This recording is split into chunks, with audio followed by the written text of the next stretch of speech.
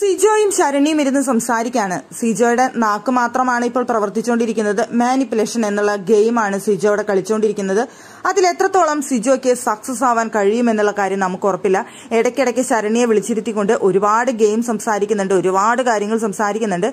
ഇത്തവണ സംസാരിക്കുന്നത് നമ്മുടെ ജിൻഡോയെ കുറിച്ചാണ്. ജിൻഡോയെ എന്ത് ചെയ്യണമായിരുന്നു? അല്ലെങ്കിൽ ഇന്ന് ജിൻഡോയെ പവർ റൂമിലേക്ക് ഇടണം എന്നാണ് ഞങ്ങൾ ആദ്യം വിചാരിച്ചത്. പവർ റൂമിലേക്ക് ഇട്ട് കഴിഞ്ഞാൽ ജിൻഡോയുടെ ഗെയിം പൊളിഞ്ഞു പോവും. ജിൻഡോയുടെ യഥാർത്ഥ സ്വഭാവം പുറത്തു വരും. അങ്ങനെ വന്നു കഴിഞ്ഞാൽ ജിൻഡോയ്ക്ക് അത് നെഗറ്റീവ് അടിക്കുമെന്നാണ് സിജു അവിടെ ഇരുന്ന് പറയുന്നത്. അപ്പൊ ശരണി പറയുന്നുണ്ട് ഇനിയിപ്പോ ജിൻഡോയുടെ വേറെ ചീത്ത സ്വഭാവം ഇനിയിപ്പോ എന്താണ് പുറത്തു വരാനുള്ളത്? എല്ലാം വന്നതല്ലേ എന്നവിടെ ശരണി ചോദിക്കുന്നുണ്ട്. അപ്പൊ സിജോ പറയുന്നത് ഇപ്പോൾ അയാൾ ചെയ്തുകൊണ്ടിരിക്കുന്ന കാര്യം എന്ന് പറയുന്നത് ഒരു നല്ല കാര്യം ചെയ്യും വീണ്ടും ഒരു ചീത്ത കാര്യം ചെയ്യും. അപ്പൊ ആ ചീത്ത കാര്യം ചെയ്ത് കഴിഞ്ഞാൽ വീണ്ടും നല്ലത് എന്തെങ്കിലും ചെയ്യാൻ വേണ്ടി ശ്രമിക്കും വീണ്ടും നല്ലത് ചെയ്യും പോസിറ്റീവായിട്ട് എന്തെങ്കിലും ചെയ്യും വീണ്ടും നെഗറ്റീവിലേക്ക് ചെന്ന് ചാടും. അപ്പൊ ഒരു നല്ലതും ചീത്തയും ഒരു നല്ലതും ചീത്തയും പ്രേക്ഷകർക്ക് ഇങ്ങനെ മാറി മാറി കൊടുത്ത് കൊടുക്കുന്നത് കൊണ്ട് അയാൾക്ക് അതിങ്ങനെ മെയിന്റെയിൻ ചെയ്ത് പോകാനായിട്ട് സാധിക്കുന്നുണ്ട്. അതാണ് അയാളുടെ നിലനിൽപ്പ് എന്ന് പറയുന്നത്.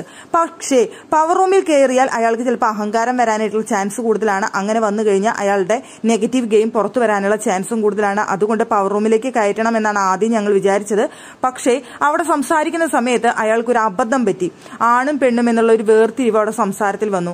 ആണുങ്ങൾക്കാണ് ശക്തി കൂടുതൽ പെണ്ണുങ്ങൾക്കില്ല. അവിടെ ആണുങ്ങളുടെ ശക്തിയാണ് വേണ്ടത്. അതുകൊണ്ട് ആണുങ്ങളാണ് പവർ റൂമിലേക്ക് പോകേണ്ടത് എന്നുള്ള ഒരു അബദ്ധം അയാൾ അവിടെ എടുത്തു പറഞ്ഞു.